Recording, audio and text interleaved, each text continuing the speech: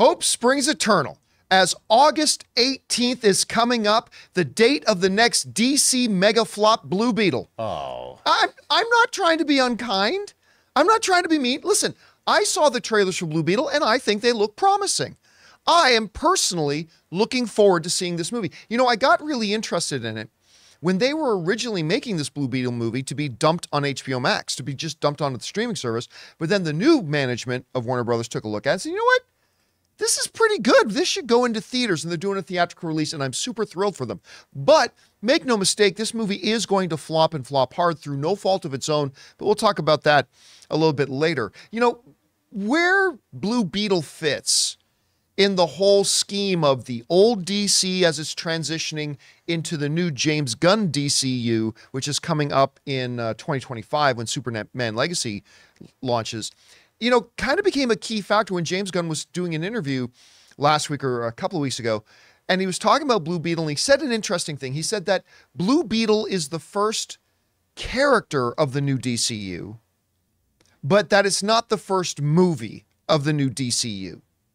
The first movie of the DCU is Superman Legacy. And we interpreted that at the time as saying, okay, so the events of the Blue Beetle movie are not going to be canon in the new DCU, but it sounds like this character is indeed going to be going over, which also makes me kind of optimistic because that means James Gunn looked at this character and what they did with the character in, the, in this movie that we haven't seen yet and said, you know what?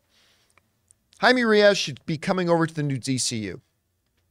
But depending on who you ask, where Blue Beetle actually fits is up for discussion. James Gunn says, yeah, the character's coming over, but the movie's not.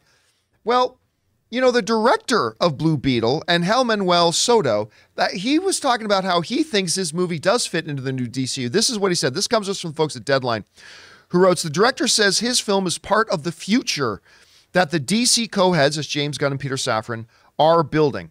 We are part of the universe. We are part of the world. We are part of the plans that they have been creating for the future installments of the DCU Soto told Total Film magazine.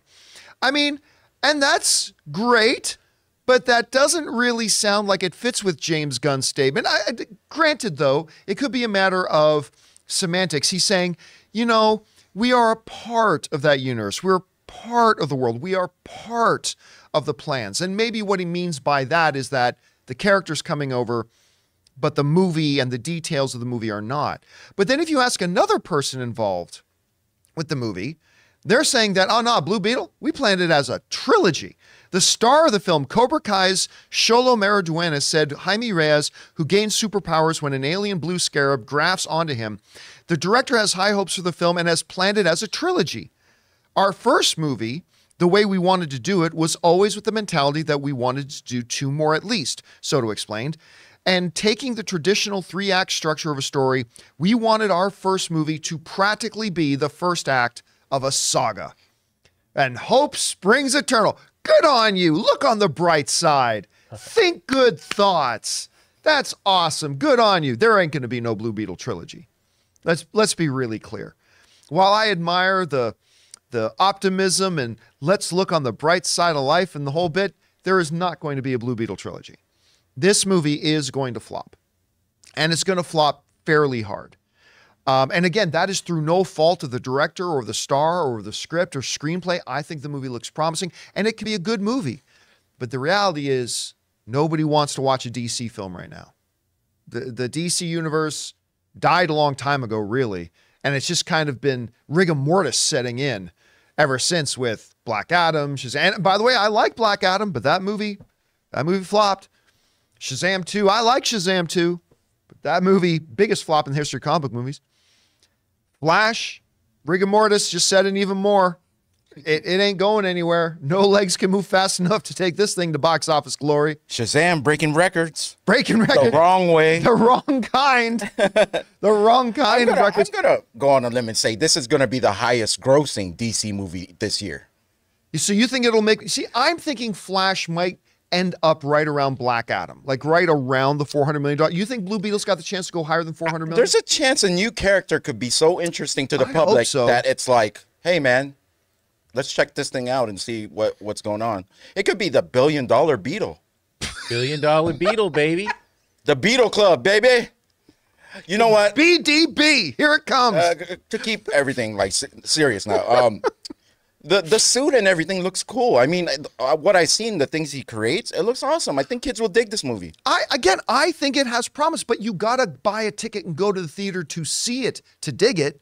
And I just don't know that a lot of people yeah. are interested in going. Yeah, I'm interested. I'm going to be there opening day, but I mean, that's just the way the things are. Guys, we want to thank a sponsor of this video, Rocket Money. The average person has around 12 paid subscriptions. Think about that. If you think you're only subscribed to a handful of services, you might want to double check. With Rocket Money, you can quickly identify and cancel all of your unwanted subscriptions. Rocket Money, formerly known as Truebill, is a personal finance app that finds and cancels your unwanted subscriptions, monitor your spending, and helps you lower your bills all in one place. Rocket Money will quickly and easily identify your subscriptions for you so you can stop paying for the ones you don't want and don't even use. Simply find the subscription you don't want press cancel, and Rocket Money will cancel it for you. No more long hold times with customer service or tedious emailing back and forth. Rocket Money makes canceling subscriptions as easy as the click of a button. My wife Ann and I moved out of Burbank two years ago, and one of the first things I discovered when I loaded up Rocket Money was that I was still paying for a gym membership I haven't even been to in Burbank in two years. So stop throwing away your money. Cancel unwanted subscriptions and manage your expenses the easy way by going to Rocket rocketmoney.com slash Campea. That's rocketmoney.com slash Campea. rocketmoney.com slash Campea. Guys, question is for you. What do you think about these statements? I mean, there hope springs eternal. There seems to be a lot of optimism here that yeah, we're going to be a part of the new DCU. Uh, we we planned this thing as a trilogy. That's all great. As the great Mike Tyson said, everybody's got a plan until you get punched in the mouth. And I think Blue Beetle, unfortunately, is about to get punched in the mouth on August 18th. But how are you feeling about it? Did you like the trailers? I thought the trailers showed a lot of promise. Not necessarily that they were the best trailers, but showed promise. Are you going to go out and see it when it comes out? Do you already have zero interest in it? How do you think it'll actually fare to other films that have come out around this level? Black Adam, Flash, you think they'll do better than those? Will it be the BDB? Will it be the billion dollar beetle? Or will it be yet the next flop on the way to the new DCU? Whatever you guys think, jump down to the comment section below and let us know your thoughts. Hey guys, thanks for checking out this video. Make sure you like and subscribe to the channel. But more importantly, make sure you subscribe to our daily podcast, the John Campea Show podcast, available on Spotify, Apple Podcasts, and your favorite podcasting app of choice.